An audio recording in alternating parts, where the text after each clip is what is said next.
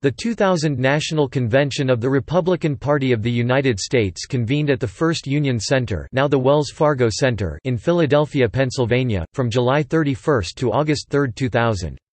The 2,000 delegates assembled at the convention nominated Texas Governor George W. Bush for president and former U.S. Secretary of Defense Richard B. Dick Cheney for vice president.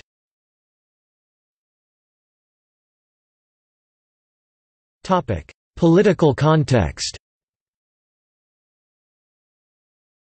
Bush, eldest son of the 41st president, was identified early as the party establishment's frontrunner and turned back a strong primary challenge from John McCain, a Vietnam War veteran and U.S. Senator from Arizona. At the convention, the party and campaign sought to showcase Bush's slogan of compassionate conservatism to persuade undecided voters.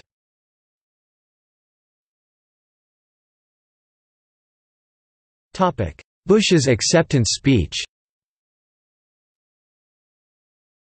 Bush attacked the eight years of the Clinton administration as weak on defense and military topics, high taxes, underperforming schools and indifferent teachers, high pollution, and a lack of dignity and respect to the presidency.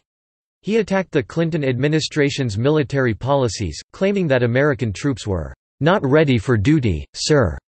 He also claimed that the Clinton administration did not provide leadership. He said, They had their chance. They have not led. We will.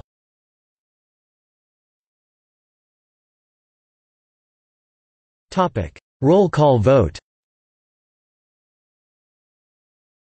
Instead of holding the roll call of states on one night, the Bush campaign arranged for the voting to take place over four nights, so that Bush would eventually build up support throughout the week, culminating with Cheney's home state of Wyoming finally putting him over the top on the final night.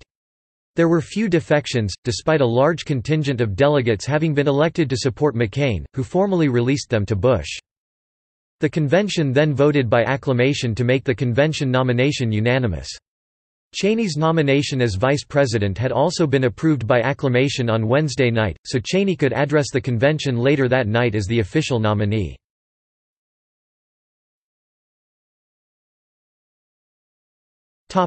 Speakers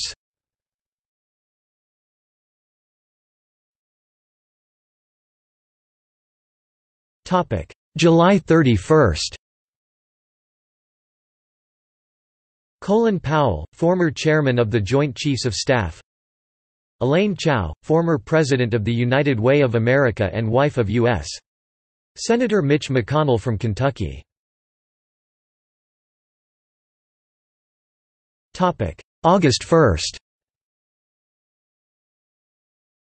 John McCain, U.S. Senator from Arizona Norman Schwarzkopf Jr., retired general and Allied commander during the 1991 Persian Gulf War Bob Dole, former U.S. Senator from Kansas and 1996 Republican presidential nominee George Pataki, Governor of New York Condoleezza Rice, Professor of Political Science and former Provost of Stanford University Laura Bush, school librarian and wife of George W. Bush Elizabeth Dole, former Secretary of Labor and wife of former Republican presidential candidate Bob Dole.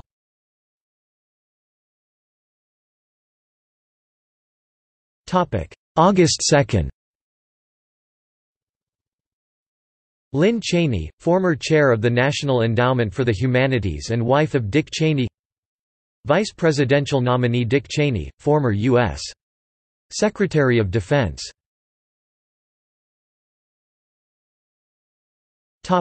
August 3 Tom Ridge, Governor of Pennsylvania. Presidential nominee George W. Bush, Governor of Texas.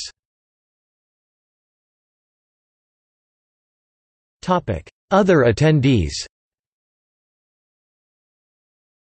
Henry Bonilla. Barbara Bush former First Lady. George H. W. Bush former President George P. Bush son of George W.'s brother, Jeb Bush, governor from Florida. Andrew Card former United States Secretary of Transportation.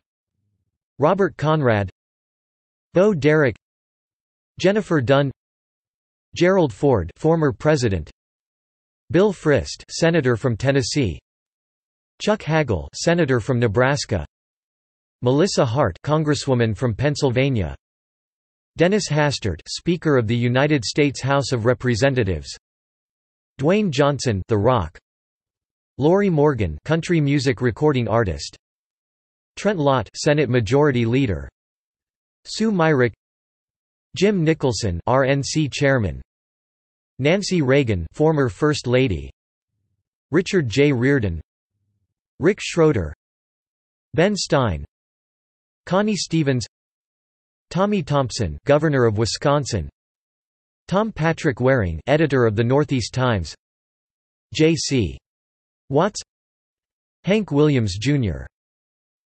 Bruce Willis actor Steve Young Topic public reception In July 1999, the LGBT plus community of Philadelphia held two protests on July 29 and 30. They did this in objection to Philadelphia hosting the Republican National Convention.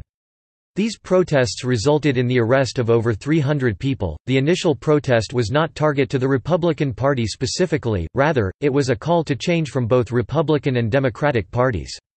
The protesters felt that both political parties for the most part, ignored the needs and issues surrounding the LGBT community.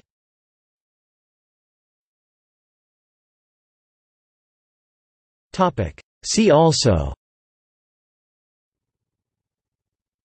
Republican Party presidential primaries, 2000 History of the United States Republican Party.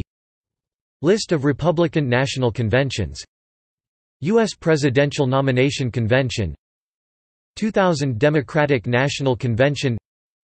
United States presidential election, 2000 George W. Bush presidential campaign, 2000